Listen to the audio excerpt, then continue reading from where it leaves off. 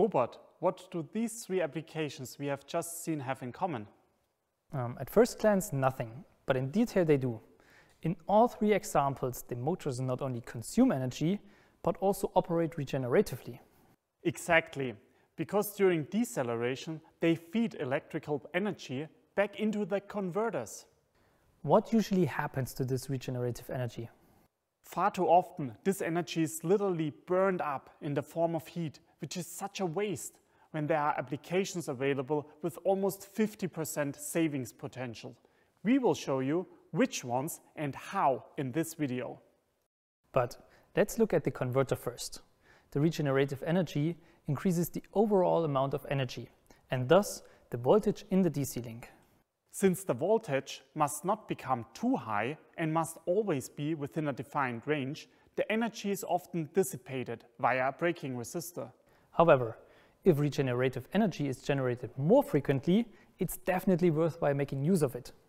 Yes, often in applications where regenerative energy occurs, motor energy is needed elsewhere at exactly the same time.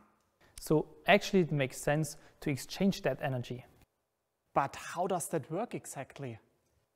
Instead of feeding the energy to a braking resistor, it is supplied to the motor that is currently demanding energy. A prerequisite, of course, is that the converters use a shared DC link. Exact. On certain single-axis drives, the DC link can be coupled. This is possible, for example, with the three-phase Sinamics S210 devices. Our modular high-end servo drive system Sinamics S120 uses a common DC link as standard, with the motor modules connected to a central infeed module, which allows them to exchange energy extremely effectively.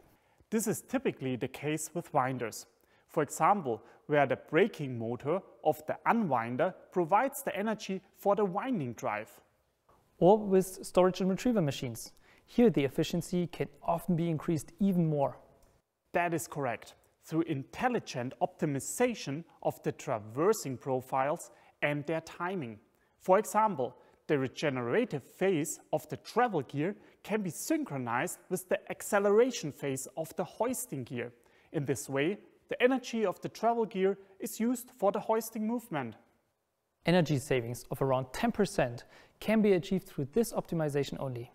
Siemens has extensive application know-how described and available in the form of application examples for storage and retrieval machines and many other applications. But what do we do if the next energy demand occurs with a time delay? In that case, we buffer the energy. There are basically two methods for this. Mechanically, for example, with a kinetic flywheel, or electrically by increasing the storage capacity of the DC link. Different types of capacitive energy storage devices can be integrated directly into the DC link. When selecting the most effective buffer storage, it's crucial to take into account the dynamic requirement of the application, in addition to the amount of energy, meaning the capacity. Servo presses, with their short-term power peaks, for example, require an excellent dynamic response. Kinetic storage units or capacitors with very fast charge and discharge cycles are suitable here. Capacitor modules are also used in storage and retrieval machines. The supercaps used have a large storage capacity in addition to a good dynamic response. If an even greater capacity is required with a lower dynamic response, large amounts of energy can be buffered cost effectively over longer periods in battery modules. What are the benefits of all these concepts? Depends on the application. In the vast majority of cases, the total amount of energy consumed can be reduced. There are applications where only the power losses needs to be compensated. For engine test stands, for example, where energy savings of up to 80% are possible. But reduced peak load is also an important added value for customers. This reduces the infeed power, including the connected load at the line side.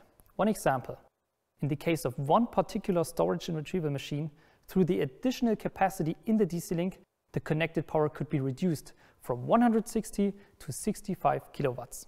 Speaking of connected power and power utilities, there are also applications, of course, where it makes sense to feed back the regenerative energy into the grid. Various converters from the Sinamics series can be used for that. Sinamics S120 active line modules can not only feed back energy, they also optimize the reactive power that is always generated when operating inductive loads or electric motors. Reactive power results in costly losses for both the operator and the energy supplier and must therefore be avoided. In most cases, prescribed limits must be also observed.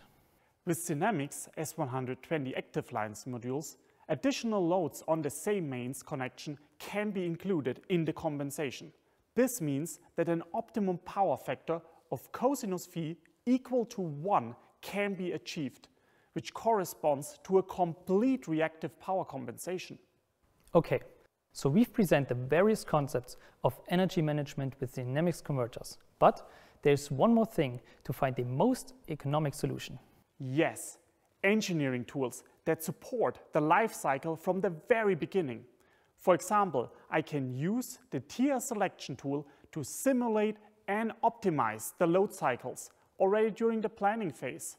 Based on that, the tool suggests the optimal and most energy efficient solution for my application. To sum it up, Drive software from Siemens offers clever solutions for Sinamics converters to optimize the energy consumption.